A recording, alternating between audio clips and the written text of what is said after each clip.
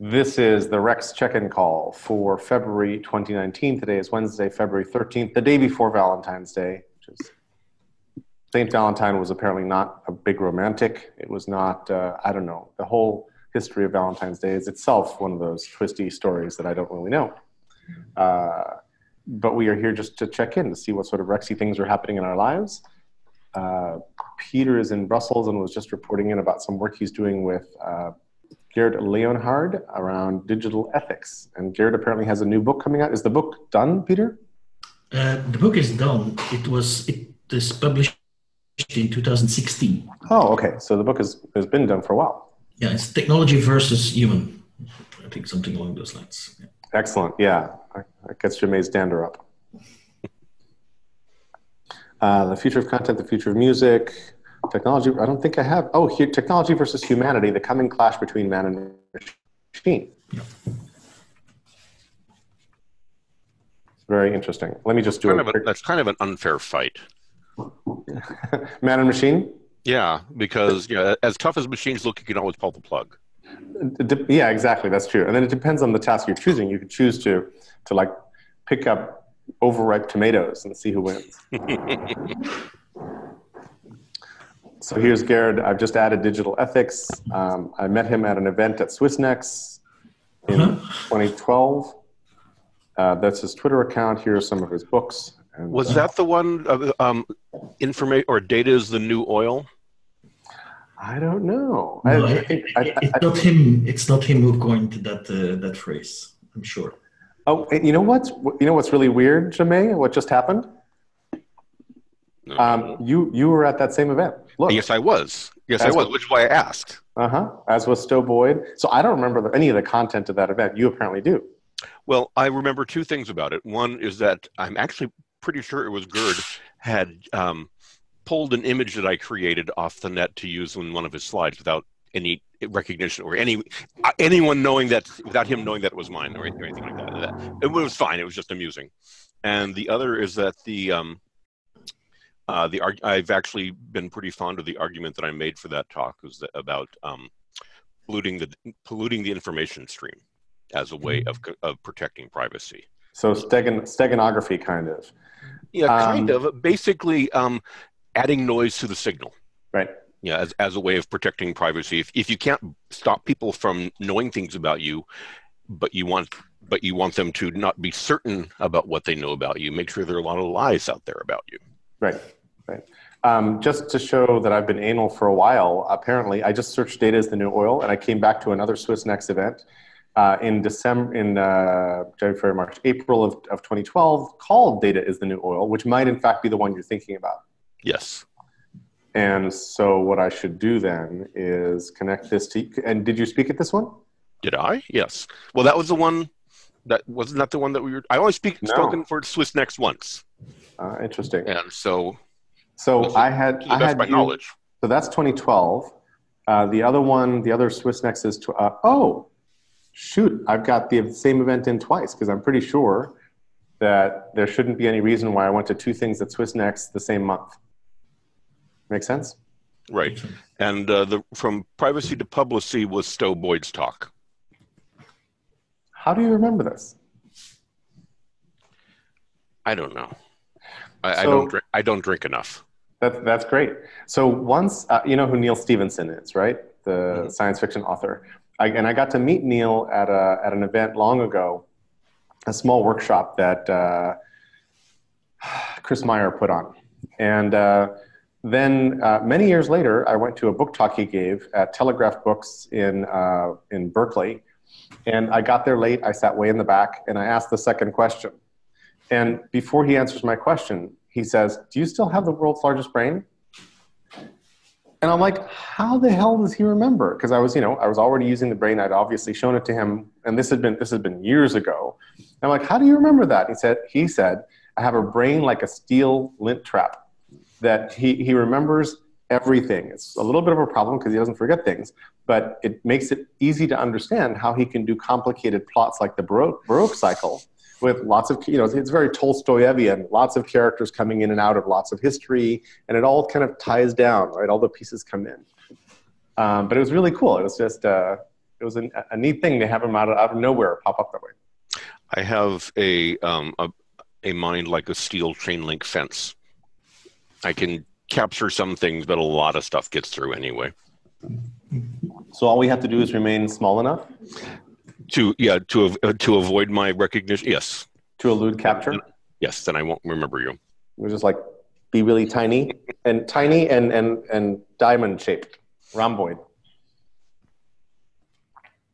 Um, uh, what else? What else is anybody doing that's uh, Rexy? Oh, wait, I, I, have a poem I'd like to read. So, oh. man, I'm breaking all protocol here. Uh, let me read the poem that I picked out, which is in homage to Mary Oliver, who just passed, a poem by Mary Oliver, and it's titled Breakage.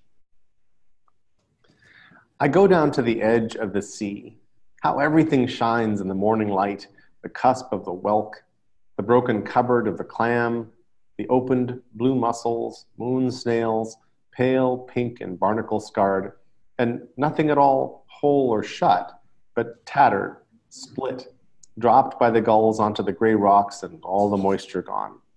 It's like a, a schoolhouse of little words, thousands of words. First, you figure out what each one means by itself the jingle, the periwinkle, the scallop full of moonlight. Then you begin, slowly, to read the whole story.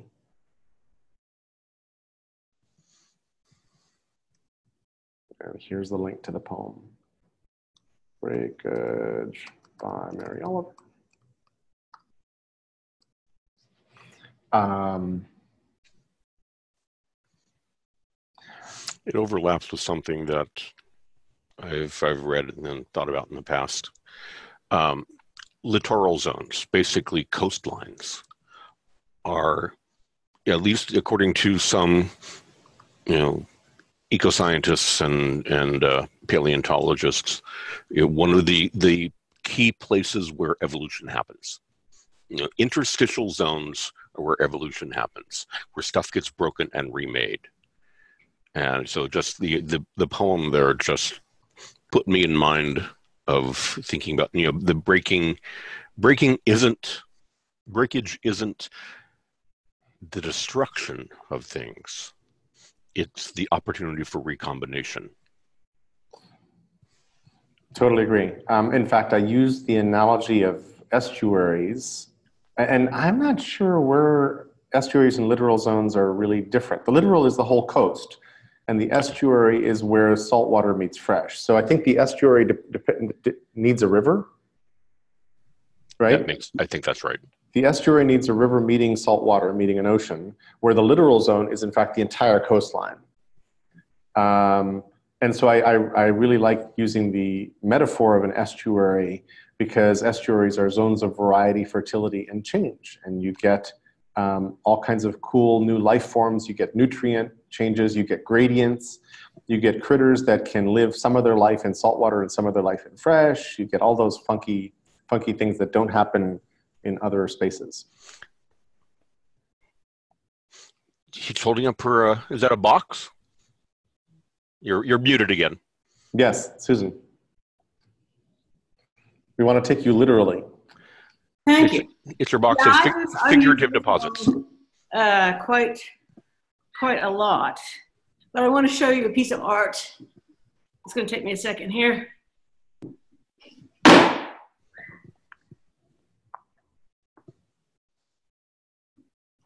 Uh, this is a, a, digital artist. I think he's still in Barcelona. Used to be good friends of my former partner and and I. Anyway, he lived on the Thames, and he put out in the Thames. So he thought the liter what was literal was the tide zone. Okay, and uh, he uh, laid out film film for the whole way, the whole distance, okay, of, of the tide, mm. one tide's worth. He laid film out, one tide's worth of all the stuff, the detritus, the little moves, the the whatever, for, for I forget how many feet it was, for the one tide, and then he printed it. And so this book, um, Which unfold? Does the book keep unfolding that way? oh yeah, it goes on. Wow. Very cool. Uh oh, uh oh, Uh oh. not this is awkward. Just a second.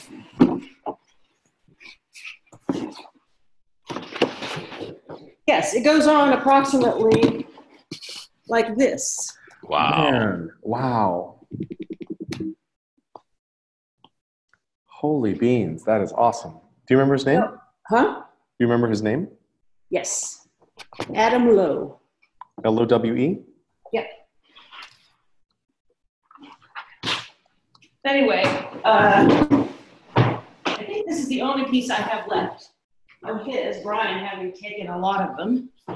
But um, he's the sort of person who, in terms of digital art, would have um, would take all the printers he could get. This is a number of years ago now early 2000s, late 90s, and and have them print uh, the color gray. Mm-hmm. Okay, and then blew it up, you know, so that you'd see how differently gray was represented by all these different printers. That's Uh, super cool. and he's gone on to do really wonderful, amazing stuff. But he was into uh, printing 3D before 3D printing was available, etc. I'll just shut up on that. But Oh, yes. Liverpool is a really wonderful concept. I live there myself. Uh, I work there, which is maybe, yeah, that's enough. No, it's lovely. Um, one of the 4,000 odd startups that came by to pitch me when I was doing the tech analyst dance had a product whose name escapes me right now, but it was basically a light sensor, a color sensor. And it looked like an old Apple digital camera. And you, you would set it down on the object whose light uh, you wanted to measure, and it would take a reading. And then they had software, and the software was extremely cool because the software would let you, for example, let's pretend you want to print a menu that's going to look right under candlelight. So they could simulate what the thing you were looking at here in, in you know, fluorescence was going to look like under candlelight, and they could adja- adapt and adjust.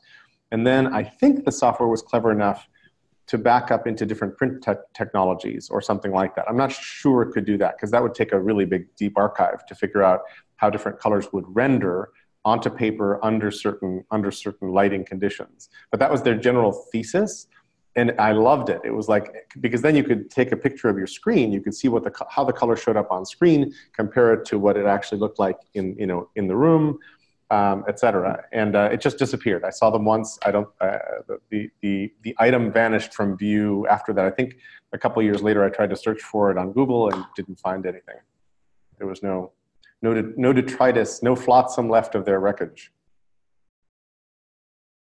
Which is sad because things like that, which takes me to another, another startup that came through uh, that probably got classified after our briefing.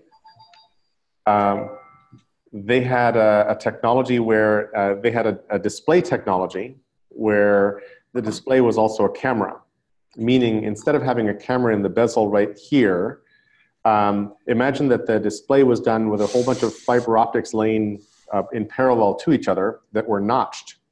And the notches were pixels coming out, so you would project light through one side and, and, and bend it the right way and color it the right way so that the light would project out. But then the, the notches on the other side of the, of the imaginary fiber optics were actually taking in light. So the entire screen, so it, it eliminated parallax. So right now you can tell that I'm not looking at the camera. Right now you can tell I'm looking at the camera. In this case, the whole screen would be a camera. Mhm. And their detection algorithms were only good enough, if I remember, that they could do fuzzy black and white. Because they still needed to do a whole bunch of work to actually converge an image, get color, do whatever, I don't know what. But it was a brilliant idea that would basically turn any screen into a camera, like the whole thing, which is which is probably why I think it disappeared from view because I'm pretty sure it got classified. Um, and who knows, you know, who knows whether these things are out there? But it was super interesting. Mhm.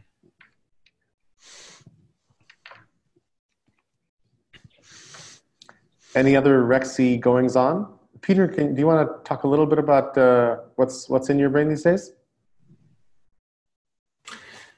Uh, yeah, I still uh, do do the academy. Um, I've done a couple of works that have something to do with labyrinths. There's one behind me, by the way. The, the circle. Um, the set. Like the it looks like a regular walking labyrinth that you would yes, find yeah, yeah. at a monastery or wherever. Yeah. And so then I found uh, this book.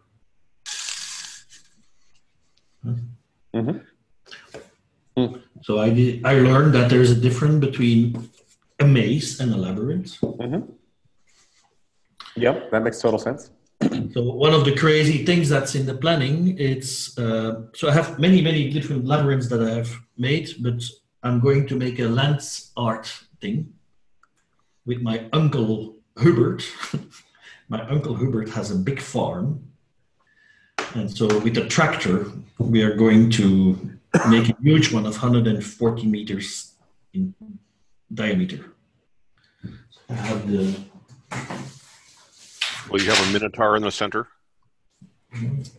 here's the the map, the oh, scale design for what it is. So every path is about four meters wide, and in between the paths there is one meter.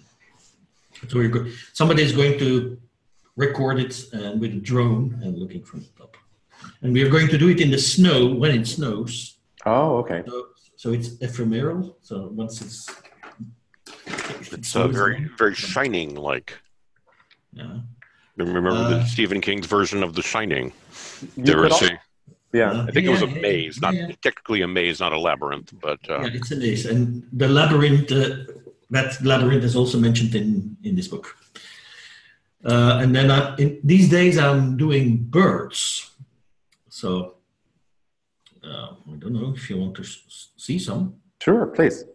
Um, where are my birds? And I'm just just thinking about drones and, and all that. A, di- a different way of doing the labyrinth in the snow would be to three to two D print it from a drone. Basically, find something that will that will either mark or melt the snow wherever you drop it, and then print make the pattern that way. Okay, I'm good. How can I share my screen? Mhm. Maybe something to. A little bit like people do images in latte foam now. there should be a, a button in this very bottom of the of the window that says share with a Yes. box With and your- Oh, that's that's one. Share, share, share, share. Optimize full There should screen. be another button that says sunny. Share computer. file. Basic whiteboard. Thanks for checking. Okay, so. Do you remember the Fat Man Detective skit they had? Oh, They would put on fat suits and bounce against each other. It was really dumb. Very vaguely. Yeah. I was I don't recall actually watching the show much. What? All right. to- You have a very dark screen. Oh, there we go. There we go. Oh, beautiful. Oh yeah. By the way, what you see uh, underneath it is uh, number five in the works. So that's not a good example of the newsletter I mentioned before. Mhm. So this is um, if this thing wants to do what I want to do. So slower. Uh, so yesterday we released number four. As it opens, Of the newsletter. that's of the newsletter, yeah. So we, we are just getting started with it. I don't know why it takes so long. It must be very very, very deep and dense newsletter. It has a lot I didn't click. I didn't click. Oh, or you didn't click. I mean, it could be other way. yeah, so there is some introduction, and then we have some highlights with Morozov and Rushkoff, and some things that have to do with justice and law, and the whole Facebook saga, and China, and then some things about technology, some things about industry, some organizations that pop up, disturbing things, snippets, podcasts, smiley, a Tinder for dogs. It exists, really. So that's What kind of- oh, sorry. Yes. Go ahead, Susan. What kind of bird is it? Ah, I'm going back to the birds. Uh, these I'm are- looking at them. Sorry. Yeah, the your bir- birds have not left our screen. Yeah, we're still Ah, seeing okay. birds. Uh, I, I, I- I don't know what birds it are, but um, if you, but I would show how it started. So these are the early ones. Mhm. So I'll just go through it. They look sort of like pigeons. Mhm. Yeah, it could be pigeons, and then so because all little tryouts, tryouts, all tryouts, and then trying different colors. But in the end, I decided to keep it uh, super simple, and now I'm still doing some tryouts. Um, okay, let not bore you with this. So then I have tried out different uh, surfaces, different types of canvas with coating, no coating, with different backgrounds.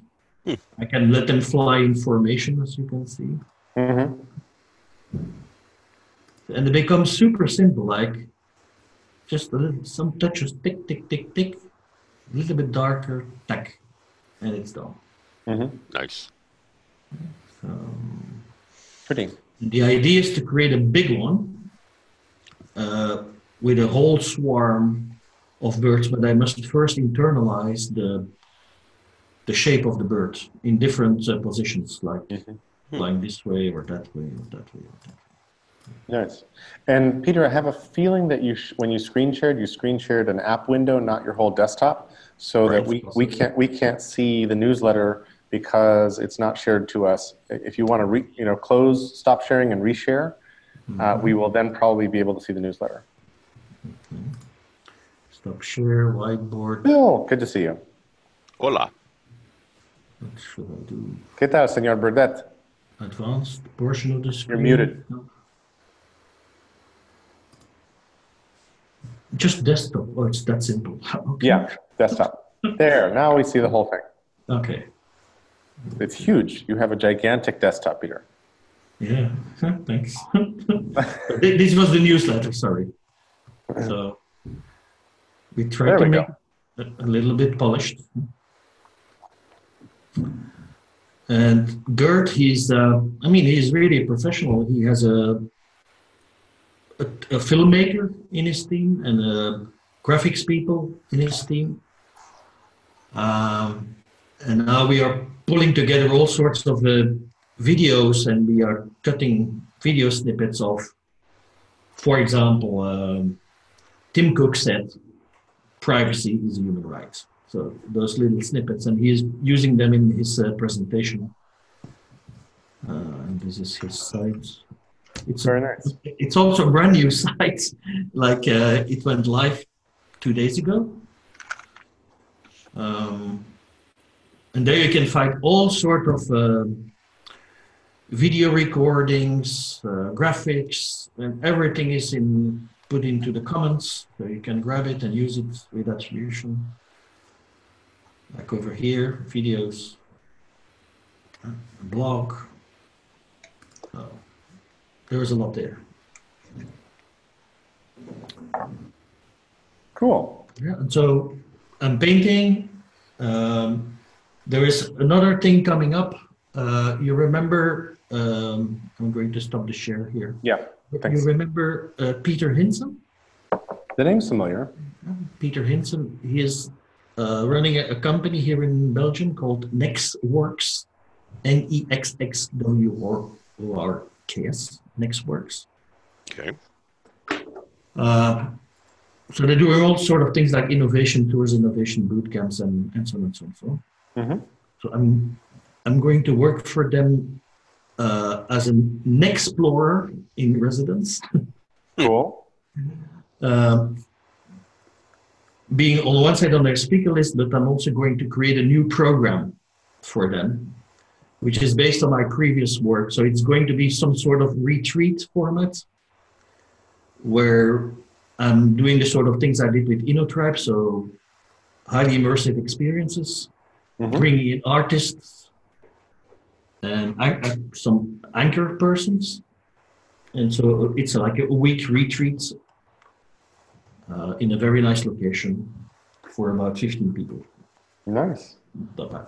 Excellent. Europe, Europe has this this set of very nice locations. It's quite Oh, amazing. yeah, they're- they're everywhere. Crazy. Like here in here in the Americas in the New World, we think something that's 150 years old is old. It's like, what? Mhm. really? Seriously? You gotta be kidding. Yeah, it, the the classic cliche in America, 100 years is old. In Europe, 100 miles is long is a long way away. Mm-hmm. And then Okay, um, or gee, uh, 100 miles is what kind of measurement is that? Yes. And then Yeah. something that's not yet uh, completely signed off, but I'm quite confident it's going to happen. So the, the person that replaced me at Swift to do InnoTribe at Sibos, that person also left. Hmm. So I'm in conversations with them now to help them out as a as a freelancer, as a contractor, with uh, this year's edition, which will be in London in September. Uh, but the, the, for me, the interesting thing is that I mean they're covered as far as InnoTribe is concerned, but this is for the main conference. So the main part of the conference, they want to inject some immersive learning type of uh, setup. So I'm discussing with them a, a special stage, which if I get what I have asked for, which look like a sort of a television studios, so half open, half closed, but with all sort of screens and immersive experiences and live artists and that sort of things. But, and obviously, they also asked that. Obviously, they asked me also to come up with names for speakers. I, I know there are a lot of good people here in this group. And so, one of the themes, Jerry, Mm-hmm.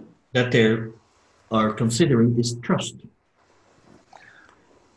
What a good coincidence. I, I'm I'm one of my priorities right now is to get more speeches because I'm not getting asked to speak enough, and uh, that sounds fabulous. And and put me on your list of options as well, if you don't mind.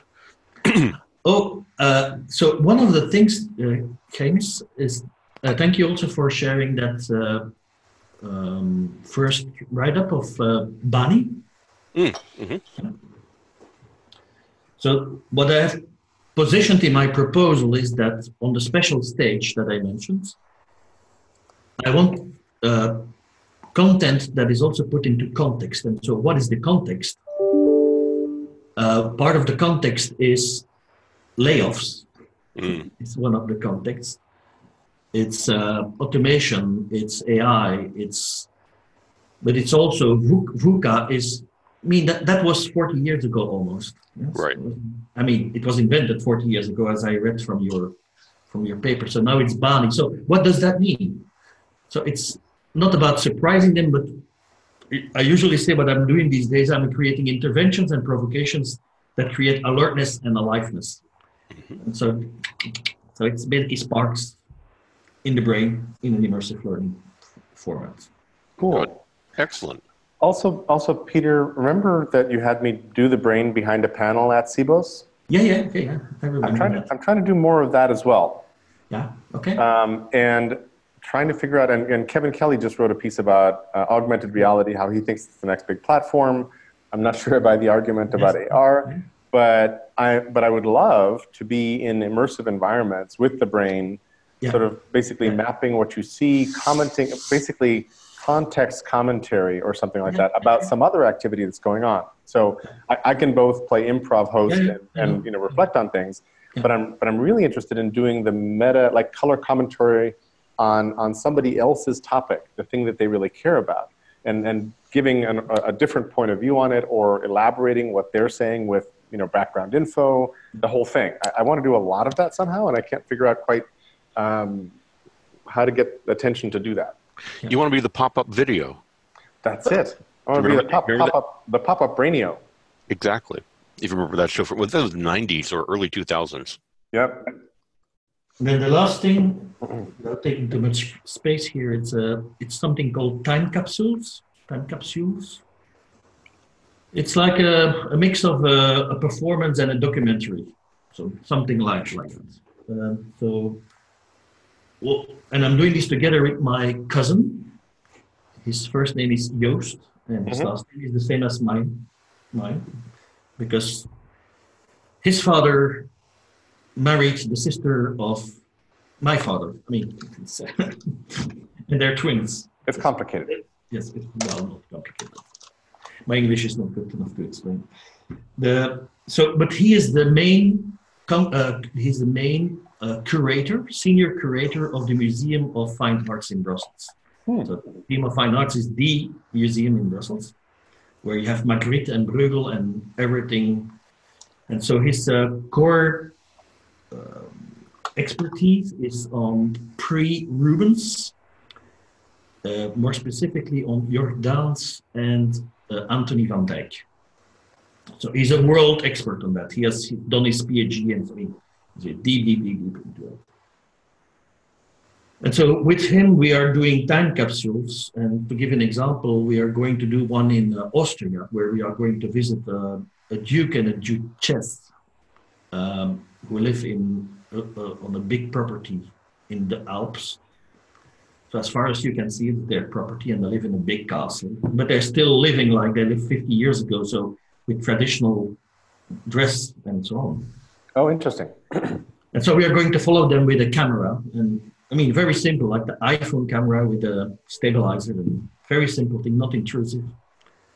And then we are going to re a, a new montage, a new collage of it, in, interjected with my own soundscapes and with uh, art historical commentary from my cousin and with music interviews. So the end product is a sort of video documentary of how those people live uh, with respect, not to uh, make fun of them because they still live that way, but this is the sort of disconnect anachronisms that we that we find in this world.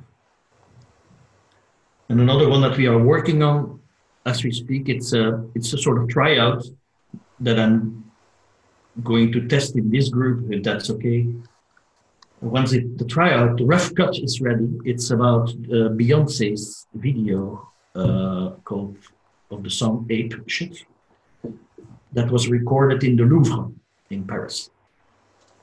And so my cousin says, I believe him, that the paintings they have chosen for that video are from an art historical point of view the wrong paintings. So we are going to come up with an alternative narrative and imagery going from Wim Wenders to David Bowie. Uh, end of story. That sounds very cool. Yeah. Thanks. Um, has anyone heard of the Ark Sorry, the movie is called Russian Ark. uh, rings a bell. Have you heard of Russian Ark? Uh, rings a bell. Um, so it's this guy Alexander Sokurov who films a one-hour movie with one shot on an early digital camera using Steadicam. Steadicam was brand new in the Hermitage Museum, and the movie is all about Russian history. So there were something like 5,000 actors and extras in, in this one movie. They took over the Hermitage for a day. They did three shoots of this. The reason the movie is 58 minutes long is that that's the largest portable hard drive they could acquire at the time. And it was all going to be one continuous streaming shot. And the third take was the last take because the first two things broke and they had to hit it and they hit it. So the movie is the third take. Um, but it's pretty brilliant. And you have, there's a, there's a, a guy who sort of walks you through, then there's a, another narrator, a different narrator with a voiceover, and then you keep running into histories, Catherine, you know, in, into Russian history, Catherine the Great and whoever else. And there, there are three different ballroom scenes with three different orchestras. there are you know, soldiers in full gear. There are all kinds of stuff in, in this one movie. Super interesting. Mm-hmm. Um, and it was a, quite the feat of endurance and cleverness back in the day.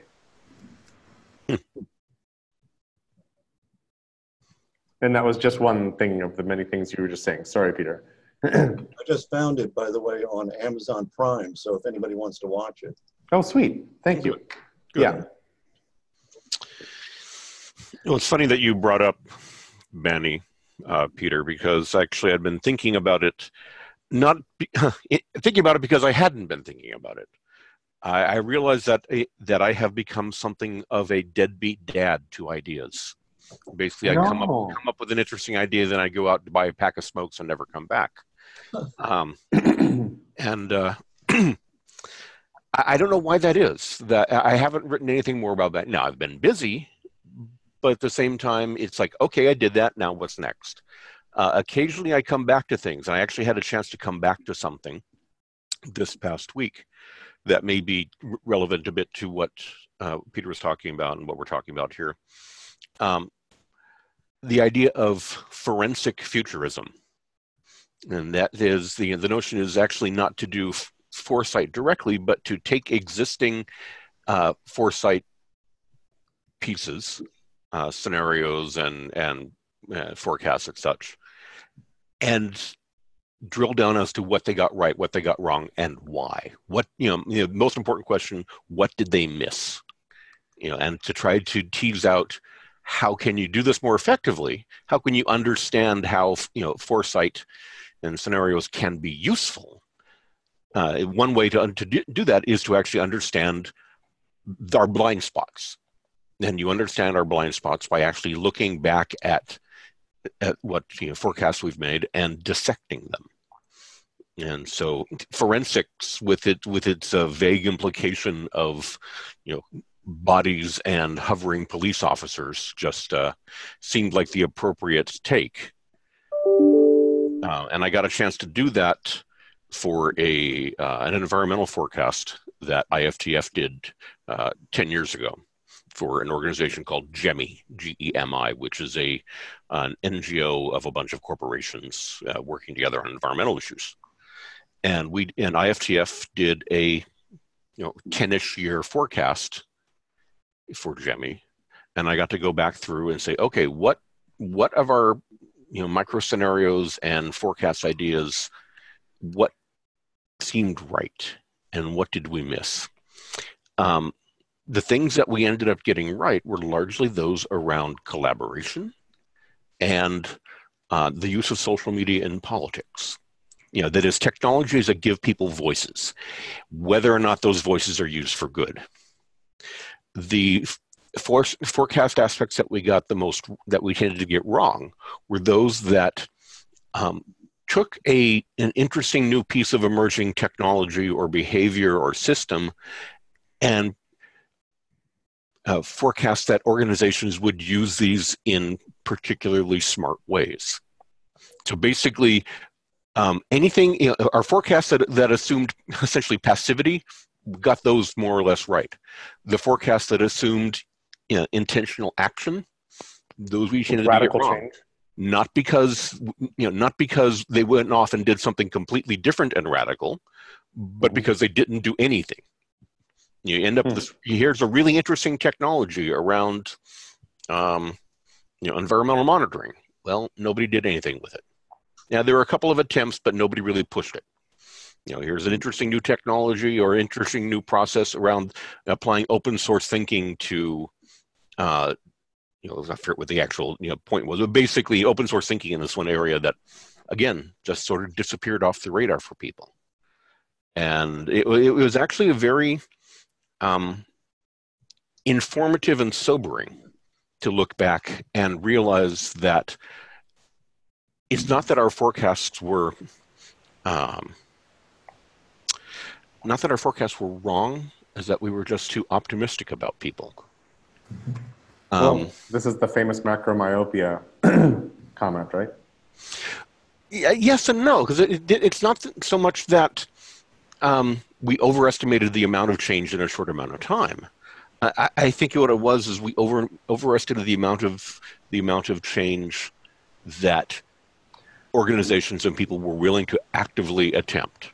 But there's also sort of this sort of luck and timing aspect to it. So I think macro Oh, yeah. myopia needs to live inside sort of a roulette wheel, Mm. uh, a wheel of fortune kind of model, where it's like of the 30 things you think are going to happen and change civilization dramatically, one or two of them are actually in fact going to happen and they're going to seize and really cause the change. And the other five that you were really championing that were like, holy crap, if that happens, so many good things happen, they just withered on the vine or they were too early and 20 years later they suddenly got manifest, right? Right, right. Can Susan? I ask a question? Please, please. Susan Griffin. Yeah, so uh, this is laudable, if painful. and, um, and so I, uh, uh, I have a question though, um, with an example that accompanies it. Uh, so, have you thought about unpacking things where it you you figure out what it actually took Mm. to get things to change, sort of under the rubric of, say, a social mind shift or something like that? Does it take one? That might be something to look for. Is do Right. people have to actually change their minds about how things are in order to take that step? Definitely. Um, and so I was, um, I won't say why I was doing this, but in the course of writing a chapter, uh, I uh, decided to illustrate. I went back to see about um, the Cuyahoga River. I think it was about the time that it was its 40th anniversary, 50th anniversary last year. Of its lighting on fire? Yeah, uh, the flooding and fire. Yeah, and the lighting on fire, and what it took to clean up that river. And um, I didn't, I didn't go through enough literature to be comfortable. I, I sometimes my researcher identity gets in the way, but um, what I did look for was the kinds of things that had to happen along the way. Mhm. And the one thing that I came came up with, which uh, was that the parties who got it took 40 years to get to the point where you could go fishing or swimming in the river. Now that's a long time to keep something going, and they did keep it going. It was sort of uh, you know interested people, people passionate about their own river, but they did agree. So they had various parties: the people who wanted to be able to fish, the people who wanted to be able to use it to ship things and um, but not run into swimmers uh, all kinds of really nice complex social agreements that had to be made um, and my interpretation of it uh, was that it took it took a shared um, a shareable not shared but a shareable perspective. That means uh, a shareable purpose which is uh, something that you know you take and a little bit like a boundary object and is interpreted in your own in your own world. So they all could agree that they wanted a clean shiny river. Mm-hmm. and that's what it took was the the stick to itiveness of that but for each of the the purposes the real you know underneath that that they all had. But since they they shared that uh, i think that was an important thing. And uh, so i was thinking about going back if you're going back we often look at we often look at the failures Mhm. more than we look at the successes. Um, success is sort of boring when it happens. It's just very slow and very complicated uh, but you know if you turn up any of that stuff that would be great.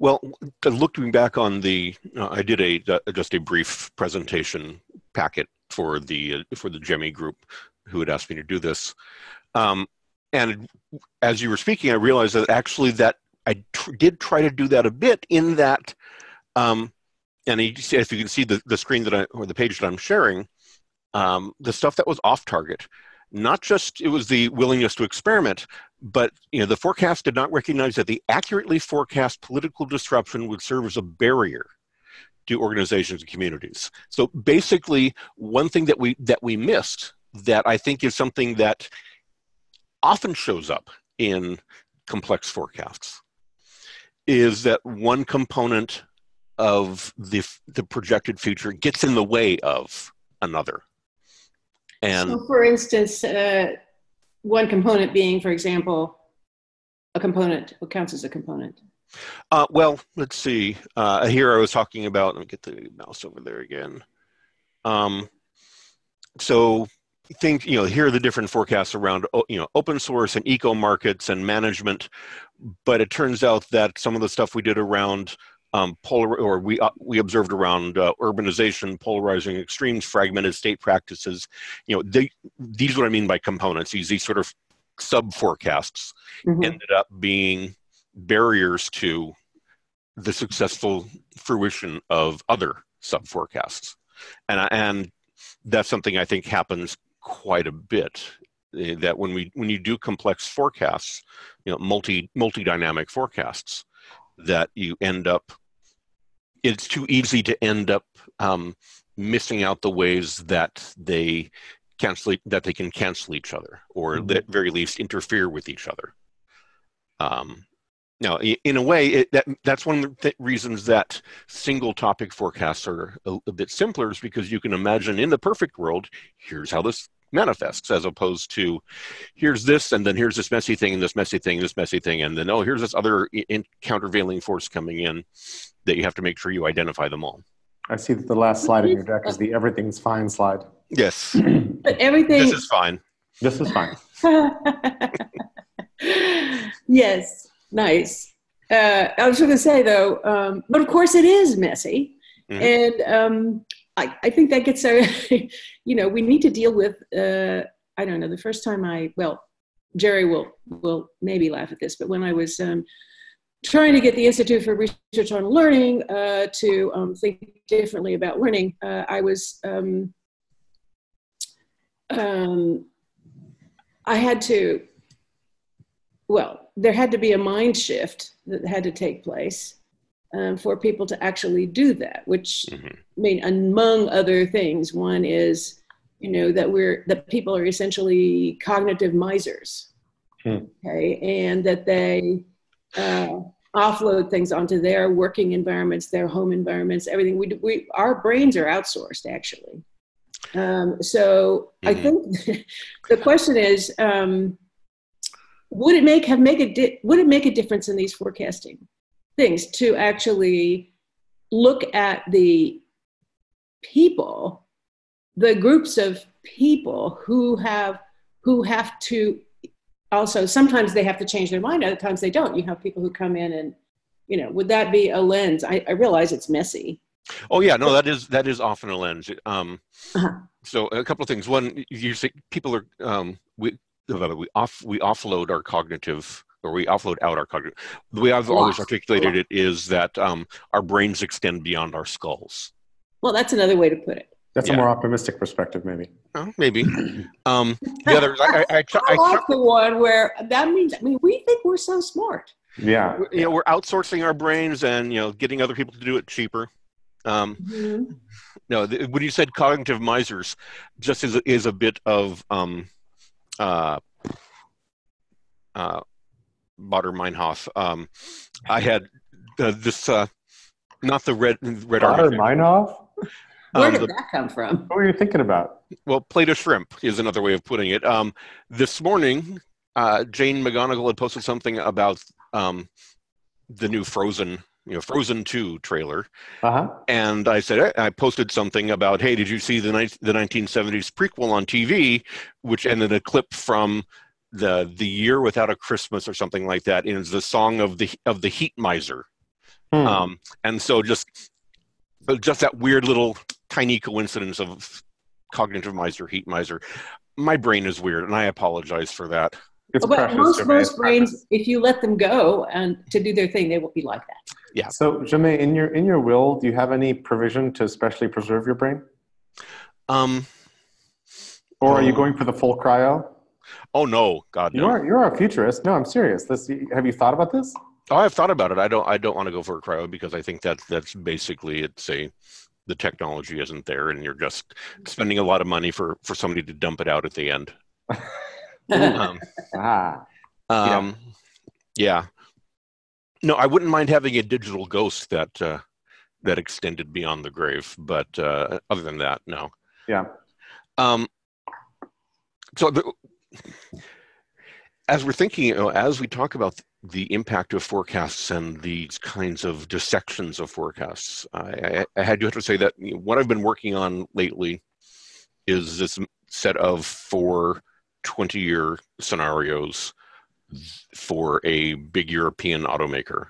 That are, these are global scenarios of what everything in the world is going to look like, more or less, um, in 2040 but the the focal dynamic the you know, what differ, the focal differentiator between the scenarios is success at dealing dealing with climate change and so the first scenario was you know moderately successful we actually make the right decisions Uh, the second scenario was we don't do enough. It, we're still trying, but we just don't do enough because we're too cautious.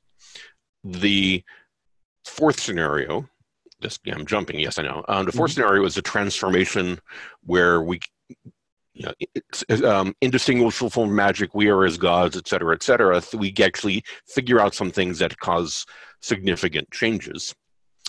And the third scenario is the collapse scenario. Um, and so, on the one hand, it's been really interesting to dive down and write these 3,000, 3,500 word scenarios around what a world looks like where you get it right and what a world looks like when you, you actually just don't quite get it. Um, all with the all based on the idea that it, you know, the world doesn't end in 2040; things continue past that. And so, what have you set up at by that point for continuing past? And I'm just having the hardest damn time coming up with a collapse scenario that at the same time offers opportunities to turn things around and remains honest. But do you think, here's one. Uh, you know, things have gotten so bad that really, really, we're not driving cars anymore because nobody can afford any fuel. We can't manufacture them. We can't uh, that it's in, that sort of in spite of ourselves, the world goes on because, in fact, we do adapt to living in the circumstances in which we find ourselves. About uh, about half of us do, yeah. Yeah. Um, but that I, that's enough to claim. You know, it's it's cr- not nice, but you know.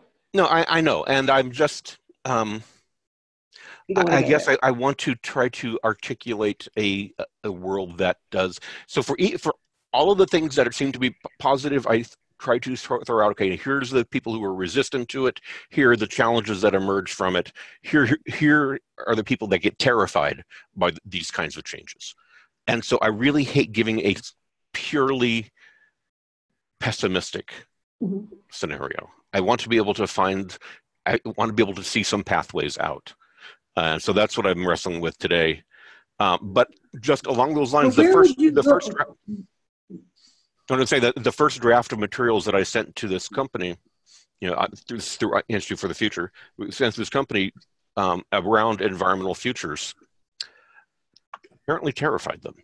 Oh, good. And they have yeah. they came back and told us that they're actually making fundamental changes to their business strategy models and what they they have changed what they list as their number one corporate um, interest. You know, this this is what we believe, uh, around, and it's now they're refocusing on how do we be a responsible planetary citizen. Um, That's crazy. yeah, it is. It's like, yeah. oh crap, that it so worked. That, that, yeah. um, you know, and this is a company I know you've heard of. So this is, you know, they're they're a big one, and for them to come out and very vocally say, "You scared the crap out of us," and we did our own research and, and saw that you weren't fooling us. This is this is really the situation. That that felt good. I have to say that felt good. Um, Congratulations! That's lovely. Yeah, really great. Go ahead, Bill. that's that's huge. Yeah. I hope so. Yeah. yeah. That's, that's I mean, I, have I've done enough. I've done this kind of work long enough to know that big changes can be easily reversed, especially yeah. if new leadership comes in. Mm-hmm. So, um, back. I'm just scrolling back through a couple notes I put in our chat just to remind me uh, of little interesting markers. But when you were talking about like what did we get right or wrong and doing some forensic analysis, my, my favorite example, which I've never been able to find again, I thought it was in the introduction to one of Doug Rushkoff's books, and it turns out that Doug is like, I don't remember that. Um, and it is the following, which is that in 2001, A Space Odyssey, we think we're going to be traveling to, you know, in outer space, et cetera, et cetera. But there's like, like stewardesses with short skirts on this interplanetary flight. We miss the women's movement. Like Kubrick and Clarke and everybody missed the women's movement, women's rights, uh, the pill, whatever, what have you. It's just not present. And that's what changed between then and the actual year 2001 and never mind 2019 like that was a, a, you know one gigantic change that just wasn't even you know on their on their radar yeah that's something that i that i've written about a few times and uh, is this that we tend to focus our forecasts, we in this, the broader futurist community, um, tend to focus our forecasts on technology. And the big changes that have really shaped how our, what our world looks like are the social ones. Um, and um, this, by the way, is why my little DBA is called Sociate, because I believe that the social changes that we're going through are going to be more profound than the economic, structural, technological changes that we've seen so far.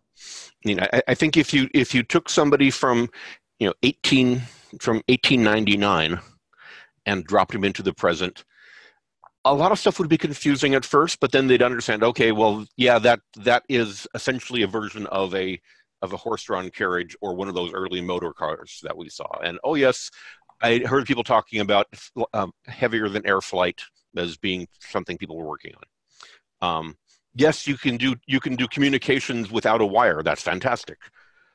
But what the hell is that slur for a for a black person doing um, out walking hand in hand with a white woman?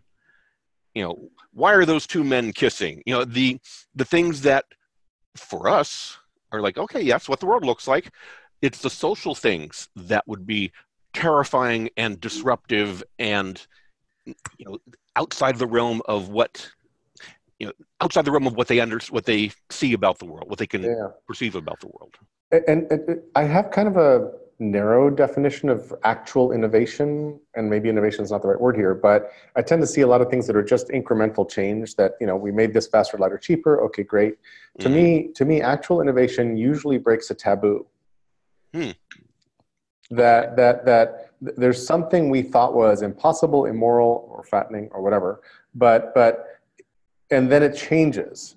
And we're like holy crap. Okay now everybody's doing that or now we can do it. And there's a whole bunch of them, and, and a lot of this is sort of social. It's like, well, these sorts of people could never do X is a long-standing trope that keeps getting disproven as we sort of slowly get rights for everybody. Go ahead, Susan.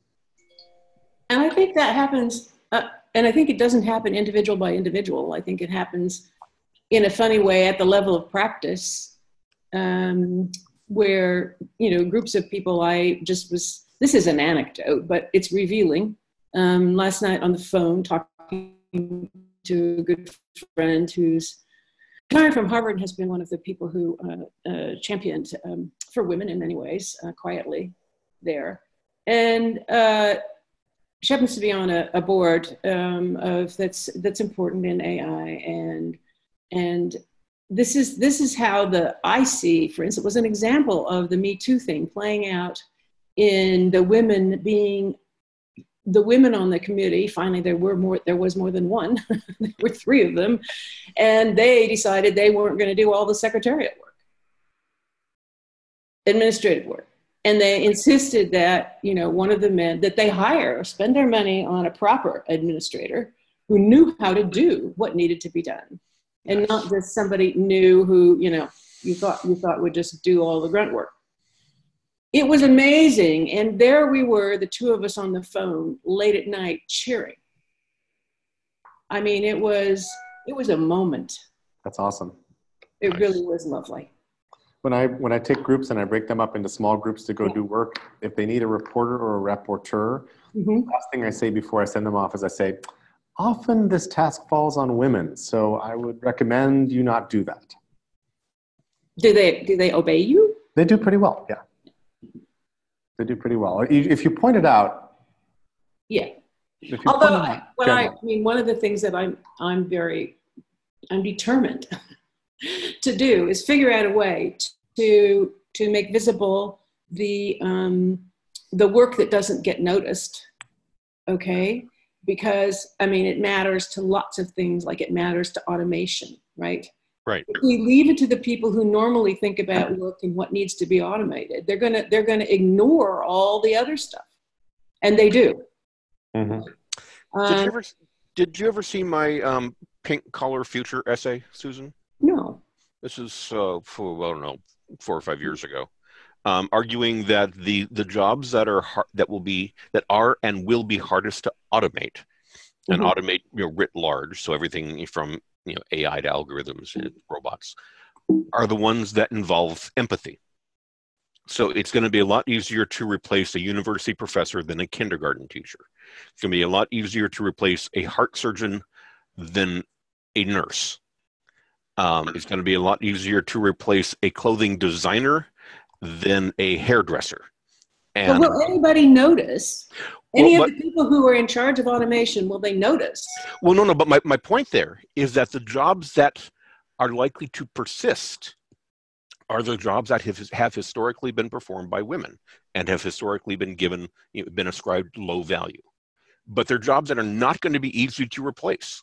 You know, no matter how and no matter how sophisticated your robots are, unless you hit the singularity, your robot's not going to be able to comfort a crying six-year-old. Um, and so that Yeah, raises but one all sorts- wonders, one wonders if the social fabric is rent, just push the story, is, Right. uh, is whether or not anybody will notice the six. I mean, nobody's noticing that the six-year-olds are going hungry in this country, really. So, Um, We're not, yeah. Jermaine, somebody um, was listening to you. Uh, there's an article on AI in the Financial Times. The robot robot proof skills that give women an edge in the age of AI. And Nice. boy, are we going to grab it. No. I- Oh, well, that that well maybe or maybe the the this these just like computer programming went from being a woman's job to a man's job. Yep.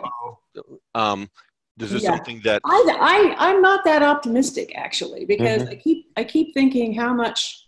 So those of you who don't know me, how many years I have spent fielding teams or been on teams out there, unpacking what's really going on and how people are getting their work done, down to counting which technologies they're using, why they're using them, why they're not using them, who they're talking to, who they're not talking to. That whole, that whole complex system is the details in a funny way don't matter. The fact that what matters is what act, what it actually takes to get a task done. Mhm, mhm. And how many things you have to touch. How many conversations do there have to be? How many pieces of technology got used in getting that work done? And it's huge. And I've never yet seen any. Uh, I have yet to see, and I've been through. I've been through reengineering. I've been through work process. I've been through workflow. I've been through work practice analysis. I've been through all that stuff. And what's invisible is huge, Mhm. huge. Yep. So eh, my, my ask to this group is if you wanted to make that visible, um, I mean, my, my schemes are all too tiny. So, um, two thoughts. One tiny thought. I just want to scroll back up the thing and offer Jamais something because he probably saw it. But uh, maybe you're not the deadbeat dad of ideas. Maybe you're the Johnny Appleseed or Al Hubbard of ideas. And Al Hubbard was the Johnny Appleseed of LSD back in the day. I'll take that one. Yeah. And, and maybe there's a very useful role for someone somewhere to play.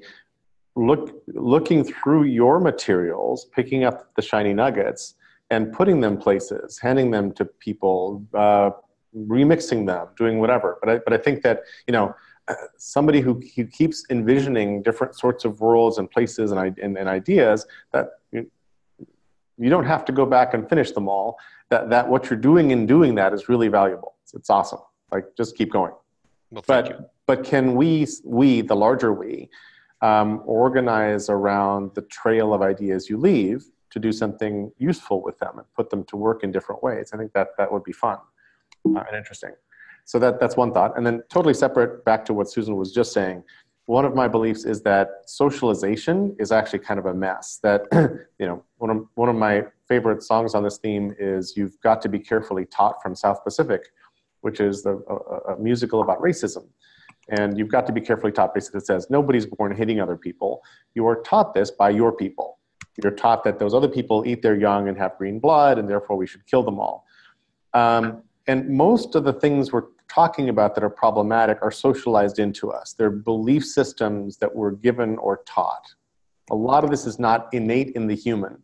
And this is, Jermaine, this is just my belief system. But I No, no, think no, no, no. I'm actually just thinking that South Pacific also has a song. There's nothing like a dame. Good So- point. Yeah, you know, the 1940s were not politically correct in any way. Yeah. Um, but but part of what I'm really interested in here is how do we hack the scripts that are in our heads? And, what I just described is the job of politics and spinmeisters and everybody else. Like, how do we hack the scripts in our heads so that we believe that trickle down economics actually works so we can give big tax cuts to the rich? That's a hack. And it's a hack, it's an actual hack. And many of these actually work, right? Because otherwise we wouldn't have like the shit policies and politics that, that, that exist in many places right now. So mm-hmm. I'm trying to figure out what are the simple things we can do to get under those uh, those bad ideas and replace them with good scripts, with more helpful, more useful scripts. How do we remind people that the commons matters, that the commons exists, at, at, you know, and on and on and on. And I'll, I'll close with this. There's 15 different projects to try to reinvent the American dream or to try to reinvent how we measure corporate success away from the Dow Jones and what is your stock price today and uh, you know the, the national welfare from being GDP growth, right? These are all, I think, generally agreed bad metrics.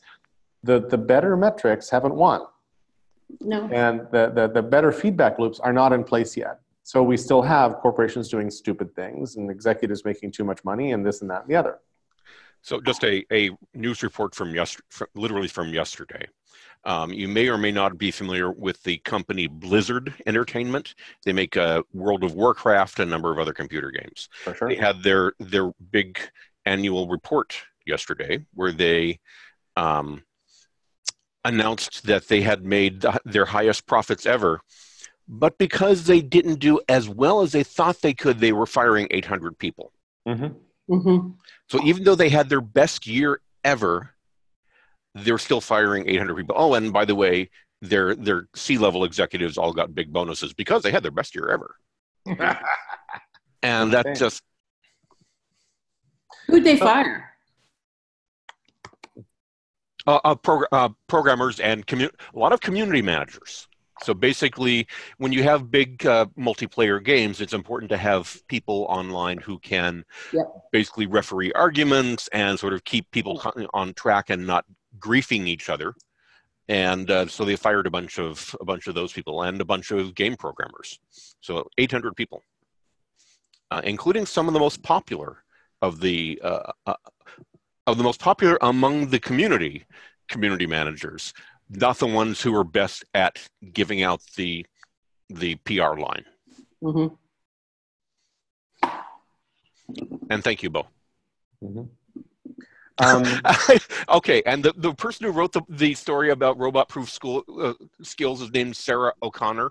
oh no, no, no, no, no, no! Come on, seriously? Sarah O'Connor.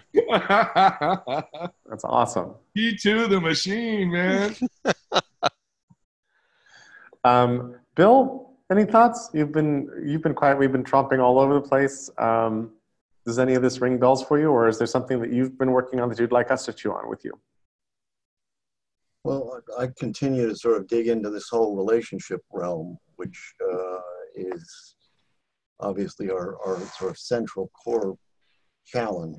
Um, and it, it's totally off topic to an extent, but at the, at the same time, it's it's sort of fundamental to my continuing to try and figure out what's the real core problem.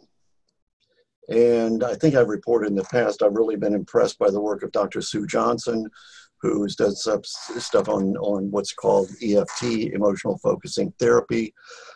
But what was fascinating was that I did a workshop with a guy named Mike Singer, who is the author of um, Untethered Soul and the Surrender Experiment.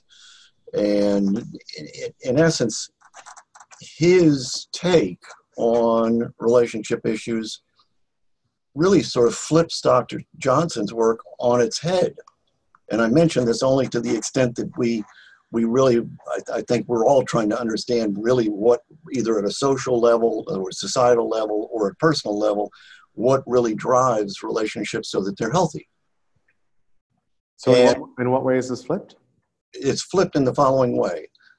First of all, the name of EFT, emotional focused therapy, clearly says that, that Dr. Sue Johnson thinks that she's focusing on the emotional side, which from my talking to psychologists trying to apply it and everything and watching her videos is a little bit challenging because in essence she doesn't help the people understand in other words to her mind mentalize the process she she insists that they get it emotionally now the problem when you you know assume that that makes sense for a second the problem when you listen to singer is that it's never not mentalized in other words if you take a mystic and he's basically lived his life in a in in the, the woods in a Tibetan temple that he built and everything. He, he believes seriously that all of life is an experience of energy coming through us. And that the first thing that that energy does when it runs into a blockage, in other words, something happened when you were three years old, eight years old, 10 years old, whatever, and so you've blocked it, it becomes resistance. And at that point, in essence, you begin to mentalize, in other words, the energy attaches itself to a distraction. In other words, it makes up something so that you don't touch that repressed aspect. And so, what Dr. Sue Johnson do, is doing by watching emotions, quote unquote, which, according to Singer, is just the first manifestation. In other words, the first thing that happens when the energy comes in and you have an experience is that there's a thought about it and then there's an emotion and feeling about it. So you're seeing the manifestation, the physicalization, the form occur around that entrance of the energy, the experience. But meanwhile, if it, in other words, consciousness, is doing that in a way that hides the blocked energy, then you fundamentally miss the point of what you're playing with because you're not playing with the hidden energy that's been blocked and has been doesn't want to deal with it. You're dealing with a diversion that is like whack-a-mole in other words you solve it here and it moves over there and then it moves over there and then it moves over there so so what what dr sue johnson is in a way sort of trapped herself in is dealing with the symptom not the cause and that's what i'm in the process of trying to sort of set up some research workshops around. And there was just attract people and get them to say, how did it work? How did this work, etc. And then sort of report back because uh, Dr. Sue Johnson has a very, very robust uh, research engine. In other words, if you can so, show the start of it, then she would probably pick up on it and, and work with it from there. But, but in essence, I've been told by the, by the psychologists that, that work with that method that she is dead set against training and mentalizing her process. She doesn't want that to happen. You know, she wants it to be totally emotionally, you know, evolving with the couple, which when you watch the, the examples that they have as training tapes, they're horrible. Horrible in the sense that the, the couple suffers for 8, 10, 20 sessions not getting it mm-hmm. because, because they're not allowed to learn the system they want them to experience the learning of the system, which if you're caught in the problem, it's kind of hard to learn it. You know, especially if your mind is very good at hiding it. All I'm saying that, that I'm, I'm still digging really deep into this relationship thing to try and figure out. And, and uh, not next Friday, I'm heading out to this Arthur Findlay College of Spirituality. Mm-hmm. spend a week, a week sort of living in the environment of how do you experience that other dimension or so that you're really accepting it seeing it as something that we're supposed to be moving toward transcending this one. In other words remember the, the point of the monroe institute was that this dimension is entirely intentionally screwed up so that we feel the resistance and or have the experience of feeling as a way to understand the resistance and then learn to go back to our witness experience and just let it go. Because there's nothing wrong. It's all it's all it's all a process of teaching us. But we've got to pay attention to the learning and stop getting caught up in in believing that there's you know really a problem unless we make it into a problem. So in any event, that's my my current um, process. I'm struggling with it in the sense that I'm I'm bump I'm getting information, but bumping into resistance to the information. Mm-hmm. I hear parallels to that second arrow hypothesis. Is it Buddha or something? The second arrow thing. It's Yeah. not the first arrow. It's what happens to what you do with it in your head when it's the second arrow. You know that you create it. Right. And, and, and when you hear it, when somebody says it, it's like, oh, wow, that makes sense. In other words, I feel that.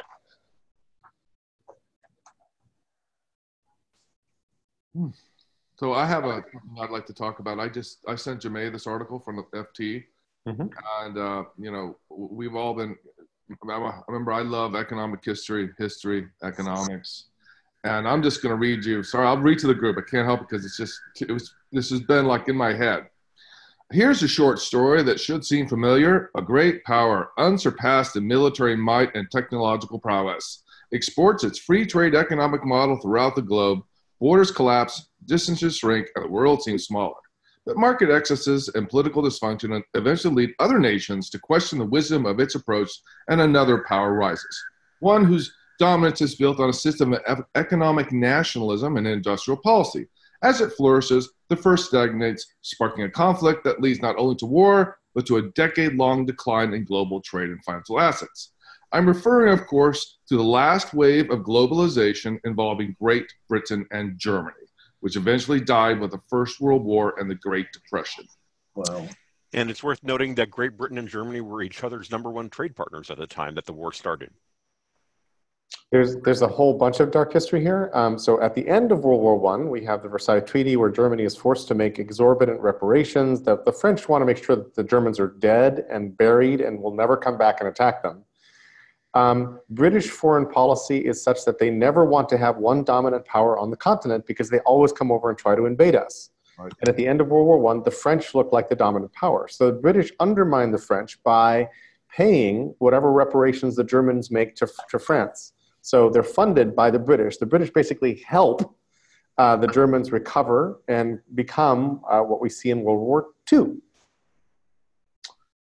Yes. um, among many other funny little corners of history. And as- if I recall right, the Germans funded Lenin. Also, the, there's the uh, so one of the sub, one of the And, and the subplots British of, had McCartney. one of the subplots of Babylon Berlin is a train full of gold that's heading sort of uh, Love that. through through Germany toward Russia. So this article, it being the FT, also um, uh, cites a World Bank report on the cycles of globalism.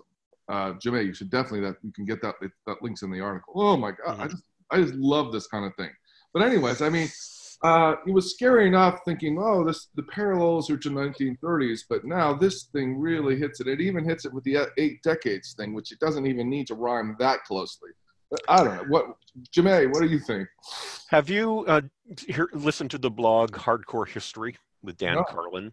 Yeah, it's actually a really. He's not a professional historian, but he's a an interested amateur who does a lot of interviews and conversations with historians. He has a multi. He had a multi-part. God, I think it's like twelve part or you know, something massive like that, called uh, series called Blueprint for Armageddon, about World War One, the origins of and the pathways through World War One. That I think you might find horribly fascinating.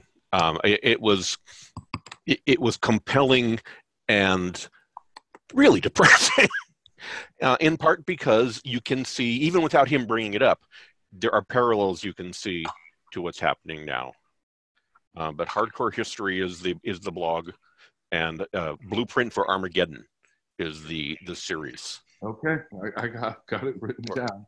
And I, I don't mean to depress myself, but we are definitely like the other the other things we're going on here is hegemony is ending for America, and it's so, so interesting. I it was I don't know if it was in this article or the other one, but it said something like now we really have to look at 9/11 was a turning point. So our our, our brief um, unipolar dominance of the world.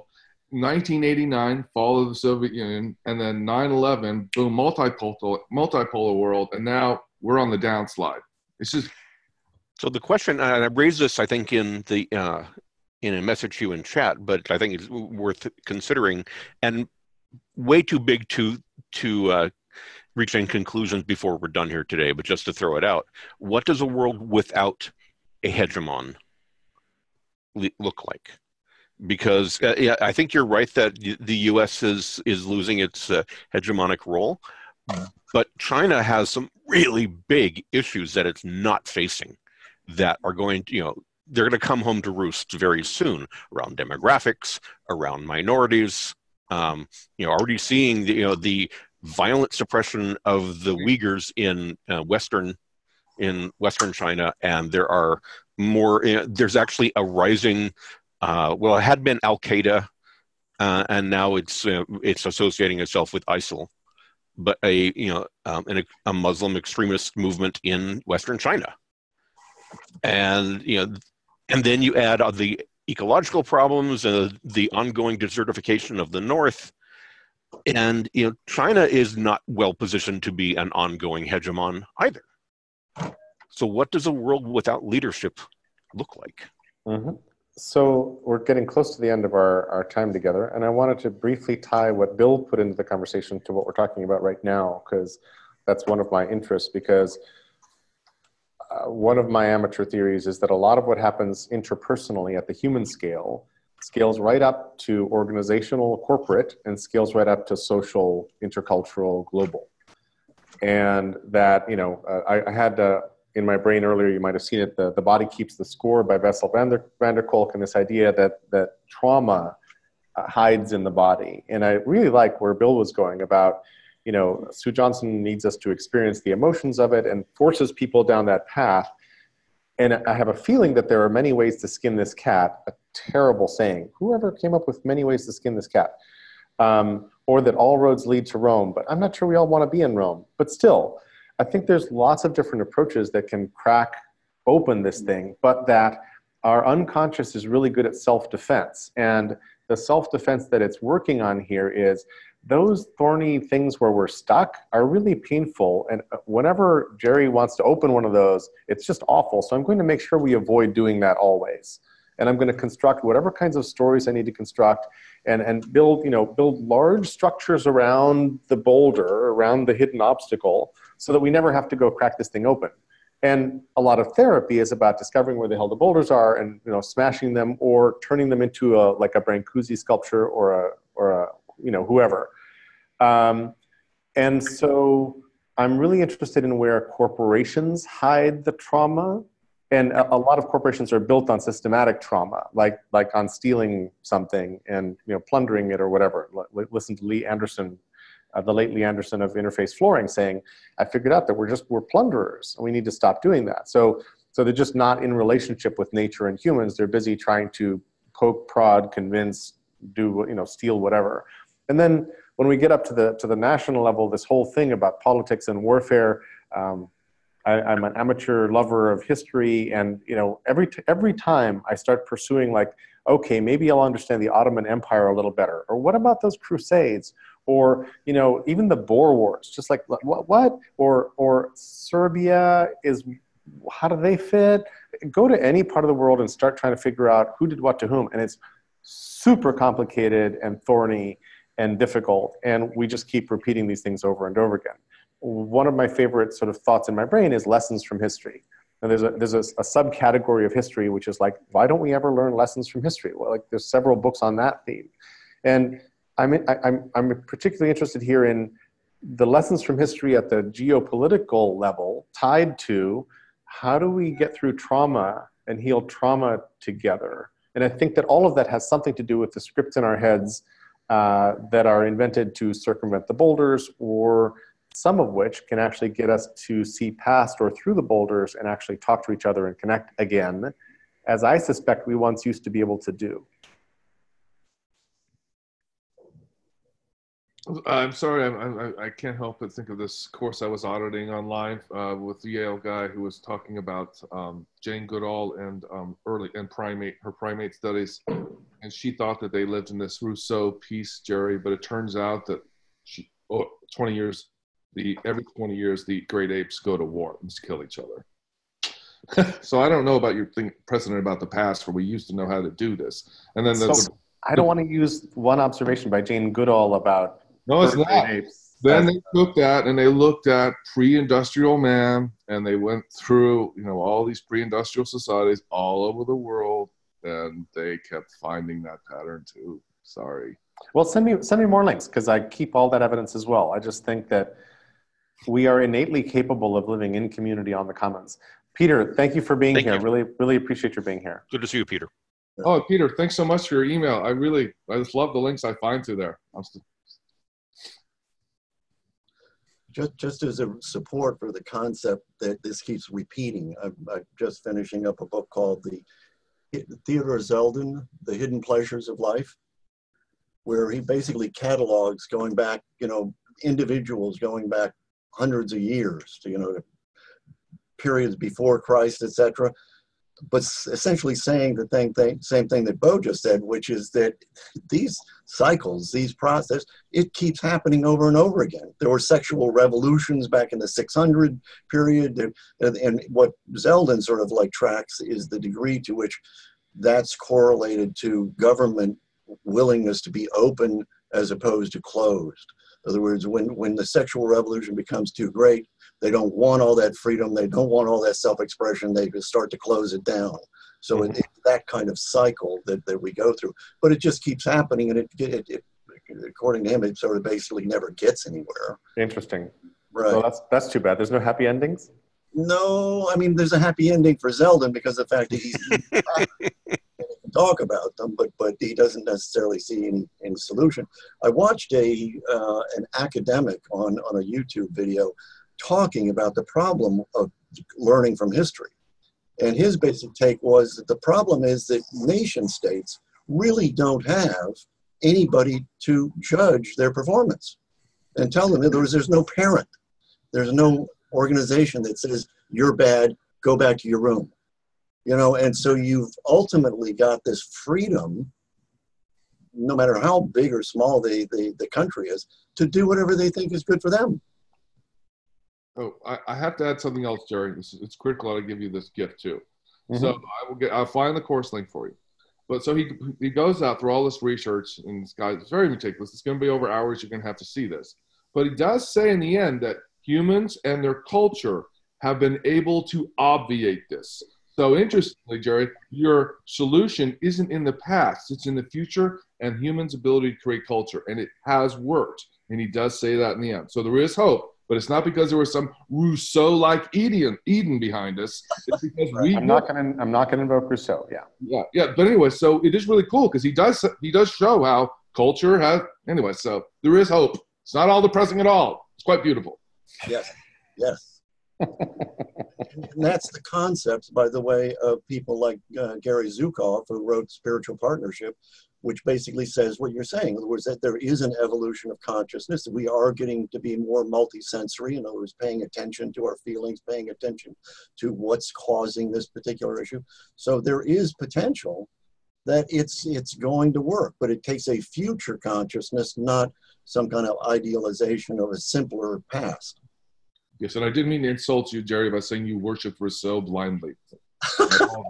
Well, what's funny is I, I would feel insulted if I were you. Totally. But what's interesting here too is there are a few thinkers, few works that have kind of become locked in place in our Western culture in these sorts of discussions. So, unquestionably too. so the tragedy of the commons, a stupid essay by Garrett Hardin, convinced everybody that commons are impossible. Rousseau's noble savage, which isn't exactly what Rousseau is saying anyway, gets stuck. Um, another favorite of mine to pick apart is the uh, hierarchy of needs. Uh, Maslow, Maslow is actually a brilliant guy and a real humanist who's fighting off the behavioralists and Skinnerians and everybody else, and, and everybody misinterprets the, the hierarchy of needs. So, so, but these things defeat good conversations around these topics because it's like, oh yeah, you're just saying, you're just echoing Rousseau, and it's like you can put a cap on that and just set that thing aside because we're never going to get to that conversation. So I'm Yeah. interested in how do we actually hold the conversation without the tropes breaking it? My favorite is Thomas Hobbes' uh, The State of Nature, Nasty, nasty, brutish, and short. Um, Red in Tooth and Claw. Yes, oh, that's right, Red and Tooth and Claw. Well, that's No, not- Tennyson. That's Alfred Lord Tennyson. But he, I guess he's quoted by, uh, but yeah, but Nasty Brutish and Short is the, yeah. And and I, I sort of collect these, so uh, keep riffing, and we'll uh, we'll we'll pull them together. Bill, you were about to say something. I can tell. Yeah, um, Zeldin wrote a book called Con- Conversations Oh, uh, because he basically asked the same question that you're asking. In other words, how do we have better conversations? And in essence, his solution or his recommendation is that we try. In other words, his perception is that that there, if we keep, and that's the whole point of the longer book that he's got, if we keep looking at ex, expressions of that variation in the past and stop putting a cap on it and just dismissing an idea and and open ourselves up. He has something that he calls a menu of conversations, and he, in other words, he goes around the world and offers unique questions, so that when you're having a conversation in a group, don't ask, you know, what's the weather or how's your friends, you know, no, ask deeper questions so that you have a better conversation. But he believes cool. he's a great believer in the concept of a conversation changing people. In other words, the fact that you're willing to talk about it enables you to open up to the fact that you should be able to learn from conversing. Yeah. I really, I'm really glad, Jerry. How dare I even not tell you the very beautiful end? I didn't mean. I hate. I hate people who kill ideas and are cynical. Cynicism is cheap. It's cheap and it's easy. Cynics, you can have them all. No, you can be skeptical, but cynicism is cheap and easy and destructive. You know, I where, you know where that. cynicism comes from, by the way? No. The original, I just learned this, that the original configuration of the word, C-Y-N is Greek for dog. It's Oh. dog. There was a philosopher or whatever, many who, who just wanted to be totally antithetical to everything that was serious and elite and everything, and so he invented cynicism, living like a dog. Interesting. I like the Greek's view of this very much. Isn't that cute? You mean lo- loving and loyal? No. Or the willingness to be naked in front of the world and happy. and the Love that. occasional consumption of poop. Yeah. Well, um, with that, let me take us out by rereading the poem, since many of you were not here at the beginning of the call. The poem is Breakage by Mary Oliver and goes as follows I go down to the edge of the sea. How everything shines in the morning light, the cusp of the whelk, the broken cupboard of the clam, the opened blue mussels, moon snails, pale pink and barnacle scarred, and nothing at all whole or shut, but tattered, split, dropped by gulls onto the gray rocks and all the moisture gone. It's like a schoolhouse of little words, thousands of little words. First, you figure out what each one means by itself the jingle, the periwinkle, the scallop full of moonlight. Then you begin, slowly, to read the whole story. And that seems a nice description of our conversation today. Yeah. Don't know how that happens, but Broken, but in a good way. there it is. Exactly, exactly. Let's go drop some shells, okay, guys? Okay. Okay. Thank you. Thank everybody for being here. Bye. Bye bye. Bye.